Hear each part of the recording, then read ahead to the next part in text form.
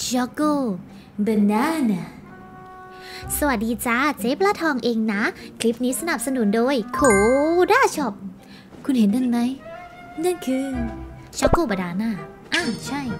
และนี่ก็คือคลิป How to 101 ของ The Unforged นั่นเอง รอบนี้มีพี่อัซดาฮาเป็นพรีเซนเตอร์ให้ด้วย เพราะว่าอะไรรู้ไหม เพราะว่าดาบนี้ จนถึงป่านนี้ก็ยังไม่มีใครใส่และเป็น The Best เลยสักคน แต่ต้องบอกก่อนเลยนะ ว่าถึงแม้จะไม่ใช่ The Best แต่ก็ไม่ได้แปลว่ามันไม่ดี มันเป็นดาบที่ดีเลยล่ะ แค่มันยังหาที่อยู่ไม่ได้ หลายคนเลยอาจจะรู้สึกว่าดาบนี้มันเศร้าจังเลยครับพี่และถ้าดันกดมาได้ แล้วจะไปยัดใส่มือใครดีนะ คลิปนี้จะมาพาพวกเธอทำความรู้จักกับดาบปราบมังกรดินอันนี้กัน The Unforged มี base อยู่ที่ 608 โดย substat เป็น a c t a c เปอร์เซ็นต์ก้อนโปรตีนขนาดใหญ่ถึง 49.6%เปอร์เซ็นต์ passive ติดอาวุธของดาบนี้จะแบ่งออกเป็น 2 ส่วนด้วยกัน ส่วนแรกก็คือ เพิ่มความแข็งแกร่งของโล่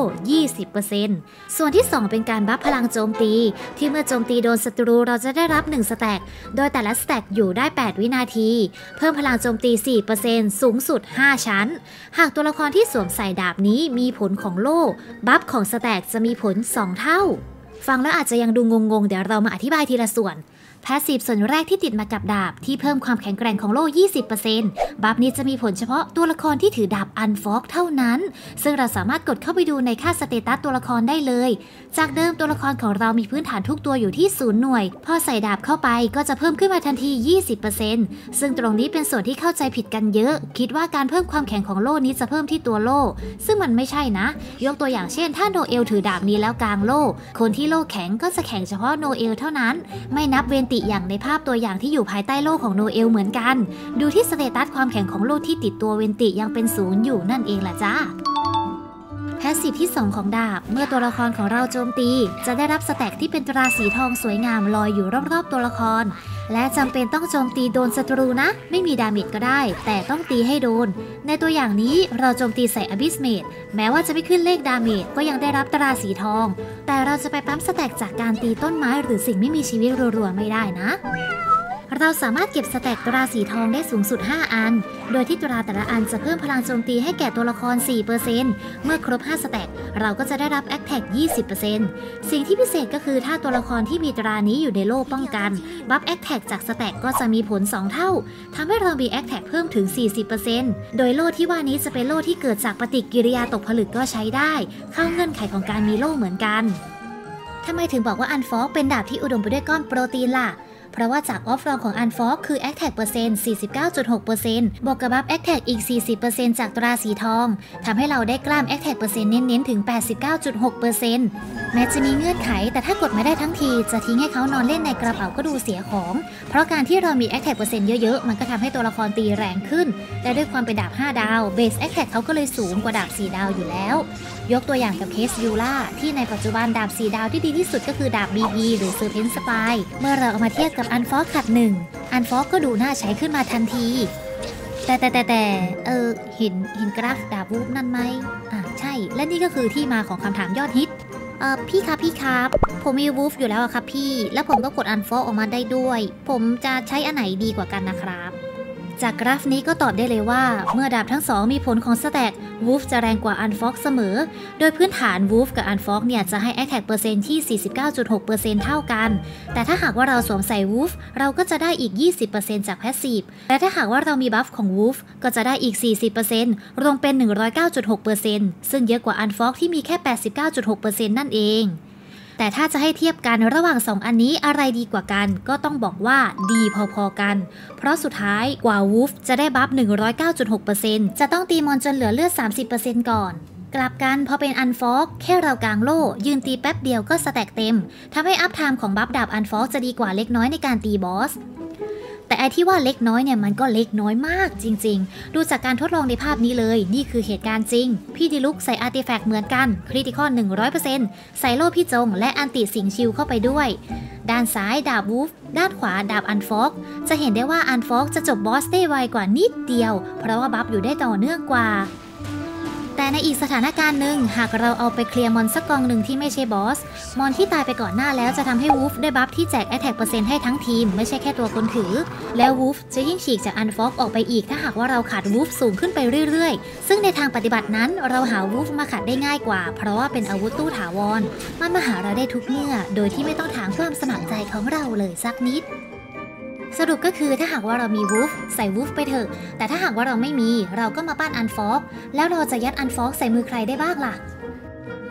ตัวละครแนะนำตัวแรกเลยนะก็คือคุณยูล่าหัวหน้าหน่วยสอดแนมแห่งกองอัศวินฟาวเนส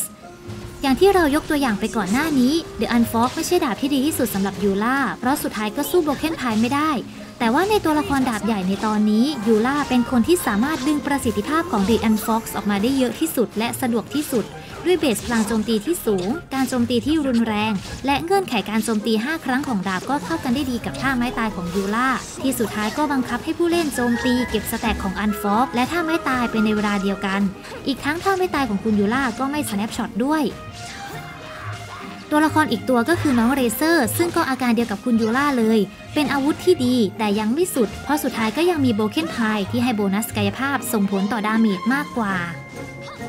พอมาดูจริงๆ แล้วไม่มีตัวละครไหนในเกมที่ไม่เหมาะกับอาวุธชิ้นนี้ ชนิดที่ว่าห้ามใช้เลยสักตัว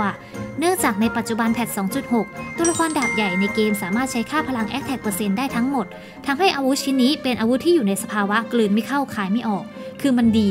แต่มันไม่ดีที่สุด จะบอกว่าแย่ มันก็ไม่ได้แย่ถึงขนาดที่แบบว่าโยนทิ้งไปเลย ไม่เหมือนกับดาบบางอันที่จนป่านนี้ก็ยังไม่มีคนใช้อย่าง The Bell อะแบบนั้นมันไม่ใช่ไงยกตัวอย่างยกตัวอย่าง ถ้าหากว่าเราเล่นตัวละครเหล่านี้ โดยที่ตัวละครทุกตัวมีเพื่อนแจกโล่ให้ ดีลุกตีปกติสลับกับ skill ธาตุทำซ้ำจน stack ครบ กดท่าไม้ตายปล่อยนกอะก็ใช้ได้ ฉงหยุนสาย DPS กดวางพื้นน้ำแข็ง ตีตีตี stack ครบ 5 กดท่าไม้ตาย ก็ใช้ได้ ซินหยาน สายตีกายภาพหรือสปินหยาน การช้าโจมตีสามารถใช้เก็บ stack ได้ พอ stack เต็มก็ตีแรง ulti ก็แรง แถมมีโล่เป็นของตัวเองด้วยยิ่งใช้ได้อีก มีอยู่ 2 ตัวที่แอบรู้สึกลำบากเวลาจะใช้ ตัวแรกก็คือซายุ ซายุถ้าเราปั้นเอามา heal ค่าพลังที่ใช้ในการ heal เขาจะมี 2 ค่า คือค่าพลังโจมตีและความชำนาญธาตุทำให้ซายุที่ถือดาบนี้จะ heal แรง ดารุมะแรง แต่ถ้าเราอยากจะแรงกลายเป็นว่าเราก็ต้องเอาน้องมายืนตีอีก โดยปกติแล้วเราก็ไม่ทำกัน อีกตัวก็คือกัปตันแห่งกองเรือ Crux เปยโต เจ๊เปยโตโดดเด่นในเรื่องความเสียหายของท่าไม้ตาย และท่าไม้ตายของเจ๊แกก็ snap shot ทำให้เราไม่ต้องกังวลถึงเวลา buff ของ stack ที่จะหายไป แต่เราก็ต้องเสียเวลามายืนตีศัตรูเพื่อเก็บ stack ให้ครบ 5 ก่อนกด ulti เสมอ จริงๆ แล้วการโจมตีปกติ 5 ครั้งก่อนกด ulti มันไม่ใช่ปัญหา เพราะยอมทำแป๊บเดียวแลก attack มหาศาลมันก็รับได้ แต่ที่น่าเสียดายก็คือโล่ C1 ของเปยโตจะเกิดหลังจากกดท่าไม้ตายทำให้การ snap shot เกิดก่อนจะได้โล่ แปลว่าถ้าเราฟัน 5 ครั้งแล้วกด ulti เลยโดยไม่มีโล่จากตัวละครอื่น เจ๊เปยโตจะได้ buff แค่ 20%เท่านั้น เราต้องหาโล่มาใส่ให้เขาก่อนจะกดท่าไม้ตายซะอย่างนั้นทั้งๆที่ตัวเจ๊แกเองก็มีโล่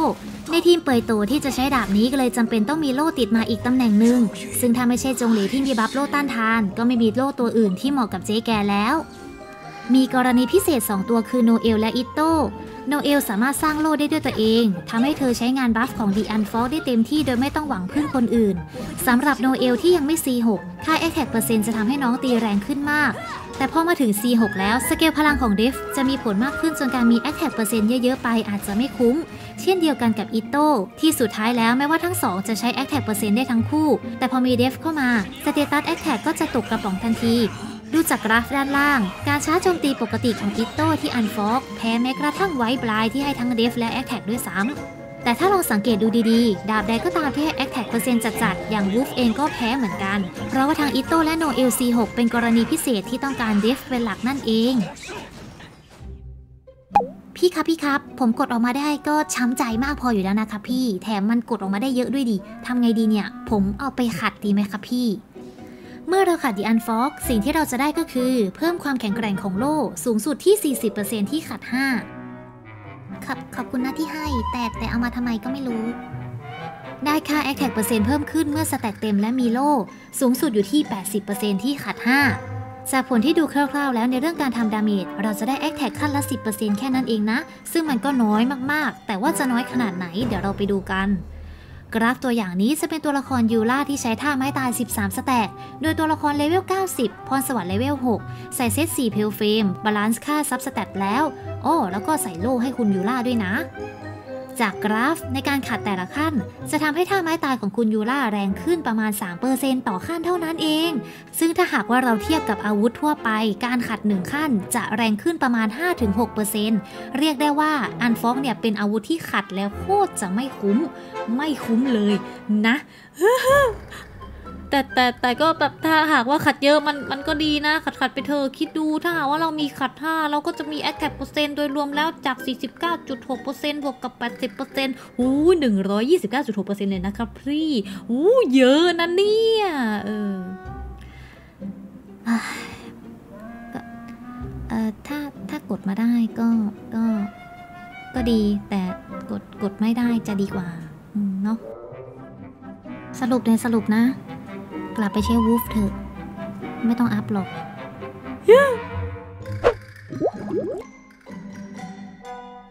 ปลอบใจปลอบใจ ปลอบใจหรือขิงก็ไม่รู้นะเจเจยังไม่มีสักเล่มเลยอะอยากได้มากเลย ประวัติดาบมันโคตรเท่เลยนะ คนอยากได้ก็ไม่ได้ คนไม่อยากได้ก็มาจังเลยอะเจอกันคลิปหน้าแล้วกันนะฮะ แล้วก็อย่าลืมสับตะไคร้กดไลค์ด้วย เดี๋ยวคลิปหน้าเป็นเป็น Mistsplitter นะ Mistsplitter ใครๆก็อยากได้ ใช่ปะเออ เจอกันเจอ